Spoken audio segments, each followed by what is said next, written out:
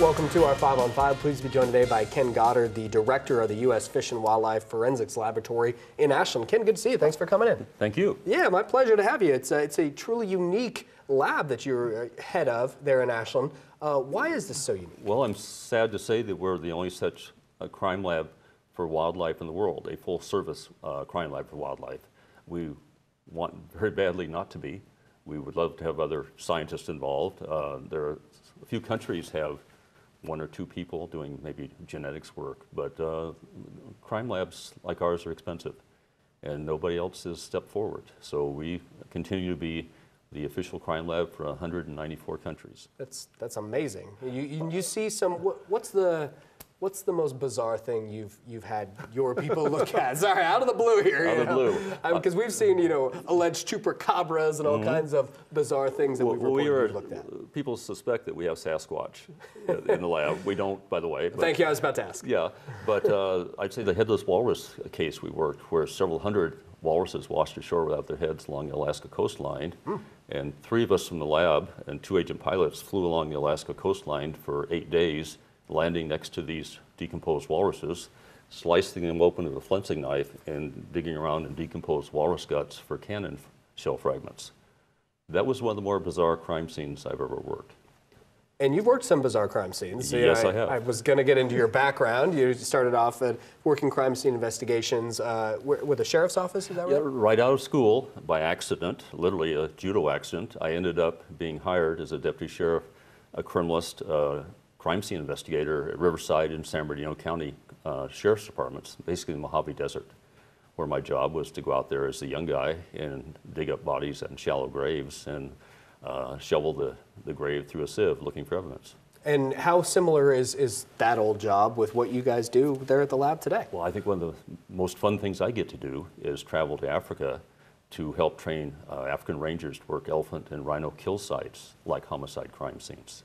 Uh, we've been we've probably trained uh, I would guess 150 rangers so far in doing this type of work. Is through our attaché program. We have senior special agent attachés in uh, three embassies in Africa, and they coordinate our training. And the idea being that the trained rangers will go to their crime scenes, collect evidence, get the evidence to the attachés who send them to our laboratory. Uh, so there, it's a very efficient way of getting evidence and helping the rangers out there, ideally going after the poachers. Very, very fascinating. All right, we're going to take a quick commercial break. Much more in just a moment. Stay with us. Welcome back to our 5 on 5. Again, here with Ken Goddard, the director of the U.S. Fish and Wildlife Forensics Laboratory in Ashland. Uh, how many people can work at your lab? 30 30, Okay. And you guys, scientists, technicians, clerical staff. Okay, and, and you guys recently expanded the facility. What, what did you do? We added a 14,000 square foot morphology center, uh, which contains our standards collection, our things uh, for us to identify, let's say, a piece or a part of an animal. We have to compare it against a known piece or part or product. We have 100,000 such items. Wow. Uh, he- skulls, bones, teeth, claws, feathers, mounted heads uh, that are all in this new facility now, which uh, is, once we have it all get together, it's going to be quite visual. Wow. Yeah, I imagine you'd have to do a lot of comparisons because of the uh, bizarre things you guys. Well, we get things from all over the world. Uh, and, you know, if you have a whole elephant, you don't really need our laboratory. It's pretty Hmm. obvious to the average juror. I think, you know, large butt, little tail, big ears, Sure. tusk. It's an elephant. It's not a rhino. It's not a hippo. Fair. Uh, but if you've got strips of skin, um, chunks of meat, you've lost those species-defining characteristics. So part of our job is to come up with new ways of identifying species based on pieces and parts. And part of that is to have a standards collection. So that's what we've established now between us and the National Guard. Uh, and ideally, your neighbor in the National Guard yes, as well. uh, yeah. who, who looks out after us? uh, the police are our primaries, but uh, the National Guard does keep an eye on us too, which we appreciate. Yeah. Uh, but ideally, uh, when we have our, our grand opening, you folks can come out, bring a camera, and you'll get to see some interesting visuals. Oh, there are some interesting things going on there, as, as we've been discussing. You, you referenced during our commercial break that UPS, FedEx, they, uh, they surprise you sometimes. You know, uh, you never know what's coming to your life. Ideally, we know what's coming. Uh, we'd like everybody to call us first, but every now and then something just shows up out of the blue. Probably the more jarring example was uh, a box that clearly was from Africa. We weren't expecting it. Our evidence techs did the proper thing. They ran through X-ray. They saw a primate skull, which didn't make them happy. Uh, I found out about, I was in D- DC, uh, I was going to just burn it.